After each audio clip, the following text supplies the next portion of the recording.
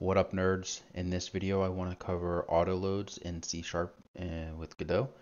If you like this video and you want to support the channel you can check out my Steam developer page. So let's get started.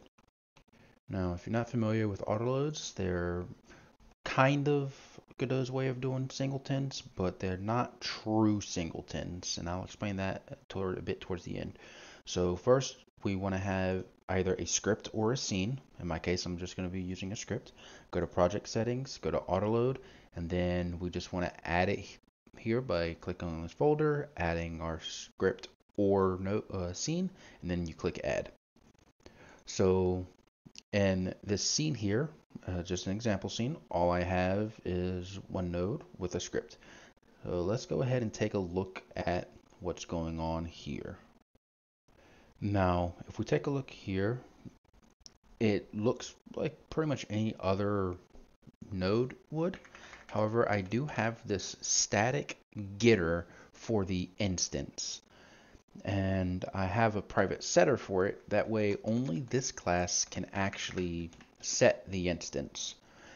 And this is the primary way you will probably be seeing other C Sharp developers uh, access their auto loads. And let's go ahead and look at how we can do this.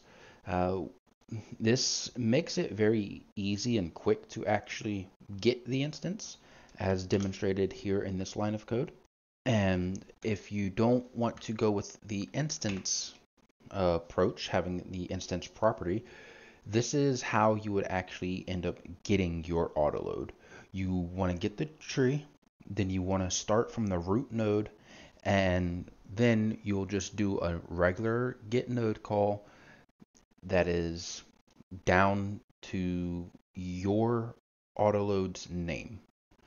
And to demonstrate that this all works, let's take a little look here. We'll print the game manager name, which is what I have here. And let's go ahead and print this as well, instance dot name, and to differentiate them, we'll go ahead and instance version, and then we'll grab this, slam it in there, non instance version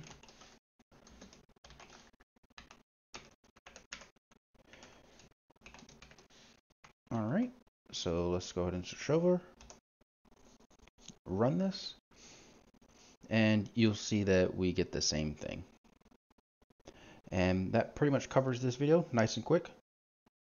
See you nerds.